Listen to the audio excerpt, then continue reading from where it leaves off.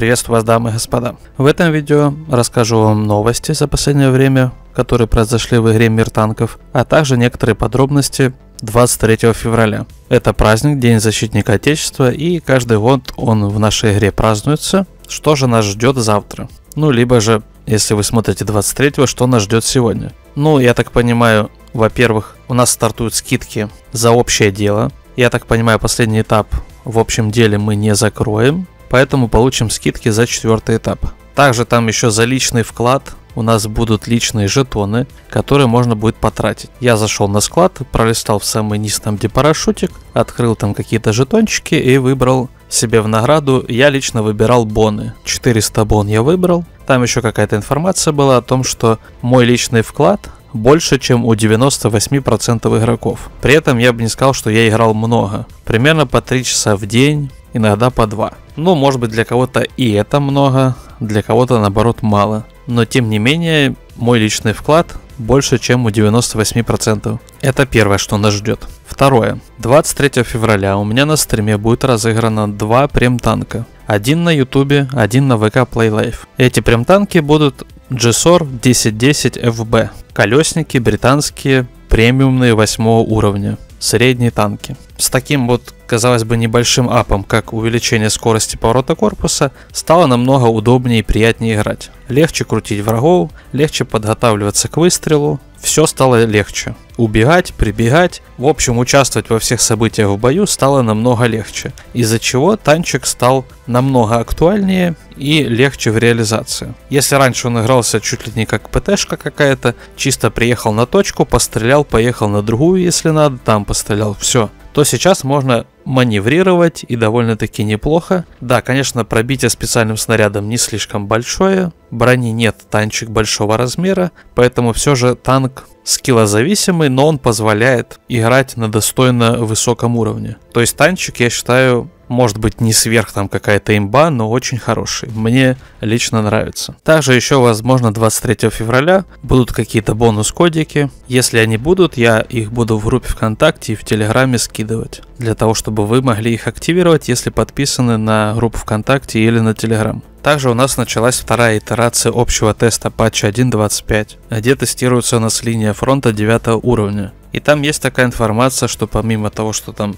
привели в порядок под 9 уровень параметры пушек, которые там у нас на линии фронта защищают dev, еще привели в соответствии с уровнем коэффициент доходности. И все понесли, как будто бы доходность апнули. Но здесь же не написано, что ее апнули. Здесь написано, а также коэффициент доходности техники приведены в соответствии с уровнем события. На девятом уровне у нас прям танки фармят так же, как на восьмом. Дай бог, если они так и будут фармить так же, как на восьмом. Если они действительно улучшили фарм на девятках в линии фронта, и он прям там большой будет, это, конечно, хорошо. Я ничего против не имею. Но просто тут не написано, что его реально увеличили. Его куда-то там привели. Может быть он был настолько плохой, что его просто подтянули, чтобы он хотя бы был такой же, как на восьмерках. А я скажу, что в линии фронта на самом деле фарм уже далеко не самый там какой-то быстрый и большой. В быстрых рандомных боях трехминутных с резервами фармится и то быстрее. Также еще на тесте патча 1.25 можно выполнить задания, в которых можно заработать день према, 100 бон, а также 5 личных резервов на серебро. Я считаю, что 5 личных резервов на серебро не так уж плохо. Это то, что не продается и обычно запихивается в какие-то такие жирненькие наградки. Условия выполнения задания 15 раз попасть в топ-20 по опыту в своей команде. Выполняется, понятное дело, это в линии фронта. Также в патче 1.25 Т-95Е2, который можно было выбить и до сих пор можно выбивать из коробок Путь воина, которые сейчас доступны из-за золота и за деньги, Т-95Е2 переводят в прем-статус, то есть этот танк становится премиумным. Я так, насколько помню, еще в следующем патче, в 1.26 там или какой там по счету будет, его еще и должны апнуть, по крайней мере обещали. Также еще обновили внешний вид Т-110Е5 и Т-110Е3. Ну, честно говоря, обновили и обновили, немножко там больше потертостей, немножко изменили форму лючка, она стала более круглой. Но Collision модельки не изменились никак.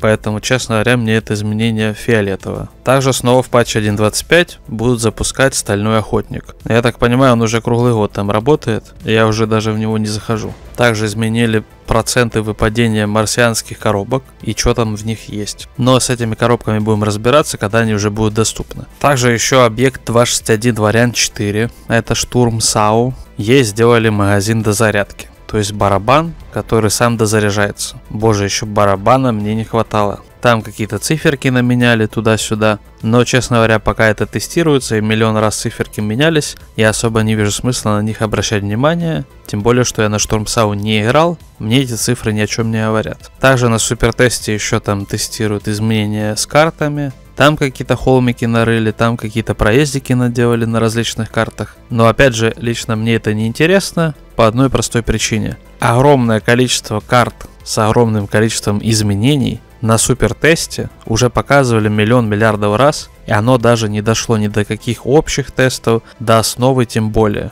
Такие карты, как Фьорды, как только их там переделывали, сразу же на супертесте выпускали изменения, как будут изменять карту дальше. Но опять же, уже лет 5 там, наверное, прошло, и никуда дальше это не пошло. Поэтому все вот эти на супертесте перекапывания карт, это, конечно, прикольно, но оно не имеет никакого смысла, и имеет смысл рассматривать карты, когда они же вот показывают, что вот в следующем патче карта изменится вот так-то. То, что там что-то понарыли по приколу на супертесте, лишь бы покататься, как-то там что-то посмотреть, это, конечно, весело, наверное, с супертестером. Нам это не дает ничего, поскольку оно потом может отложиться лет на 10, и мы это не увидим вообще. А послезавтра мы это забудем, зачем нам эта инфа, непонятно. Ну и также еще поговаривают, что завтра, 23 февраля, или уже, если вы 23 смотрите, то сегодня, Возможно, нас ждет какой-то танчик в продаже. Возможно, еще какой-то стиль. Ну, защитника можно выбить из контейнера «Путь воина». Какой еще могут продавать танк на 23 февраля? Ну, может быть, двухстволку советскую с нормальным калибром, а не как у некоторых фениксов. Может, еще что-то новое завезут. Не забывайте, что на стриме будет розыгрыш двух прем-танков. Разыграны они будут среди тех, кто будет смотреть стрим, среди активных зрителей. На этом у меня все. С вами был Варчик. Карайте красиво, подписывайтесь, ставьте лайки. Всем удачи и пока.